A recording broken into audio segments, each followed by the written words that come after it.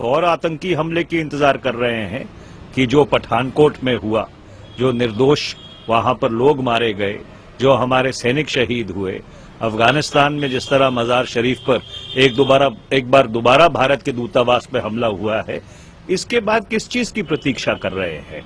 तुरंत इस सरकार को पाकिस्तान के साथ विदेश सचिव स्तर की बातचीत रद्द कर देनी चाहिए। दूसरा, सामरिक बुद्धिजीवियों में ये चर्चा है कि ये सरकार सर क्रीक और सियाचिन को पाकिस्तान के हवाले करना चाहती तो इस मुल्क को तुरंत ये बताया जाए कि जब प्रधानमंत्री लाहौर गए थे, नरेंद्र मोदी लाहौर गए थे, प्रधानमंत्री नरेंद्र मोदी, उनकी नवाज़ शरीफ से क्या बातचीत हुई? जब इनके राष्ट्रीय सुरक्षा सलाहकार बैंकॉक गए थे, वहाँ पर पाकिस्तान के राष्ट्रीय सुरक्षा सलाहकार के साथ क्या बातचीत हुई? जब इनकी विदेश मंत्री इस्लामाबाद गई थी तो वहाँ पर पाकिस्तान के विदेश मंत्री के साथ क्या बातचीत हुई?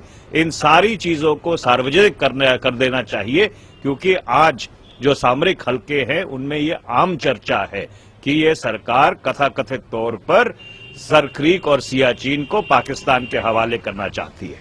और तीसरा, दस साल से ये कहते रहे कि आतंकवाद और बातचीत साथ साथ नहीं चल सकती। उफा में इन्होंने पाकिस्तान को आतंकवाद के मामले पर बराबरी का दर्जा दिया।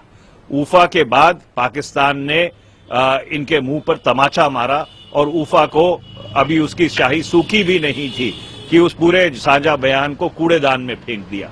उसके बाद बैंकॉक का वाक्य फिर लाहौर का वाक्य फिर पठानकोट का वाक्य बीच में गुरदासपुर का हमला हुआ। तो ये सरकार भारत की राष्ट्रीय सुरक्षा के साथ क्यों खिलवाड़ कर रही है? क्या प्रधानमंत्री जी, जो नोबेल शांति पुरस्कार है, उसको पाने की जो चाहत है, वो इतनी बड़ी है कि देश की राष्ट्रीय सुरक्षा